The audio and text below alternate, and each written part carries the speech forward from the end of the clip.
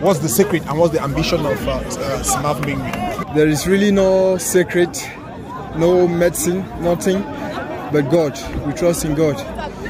Though we've not had all our players, our licenses, but we still have the fighting spirit and God has been doing it for us.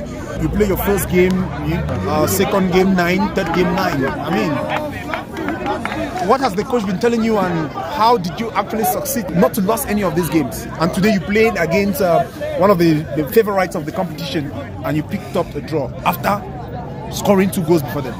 Like I said, God first. God has been our main support, our main strength. So everything, the glory we give it to God and team spirit. So what's the ambition of uh, your team this season as a player? As a player, my ambition is to become one of the top goal scorers.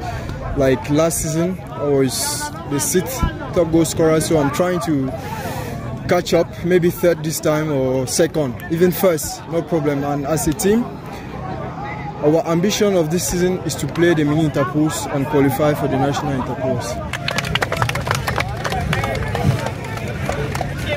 Come on!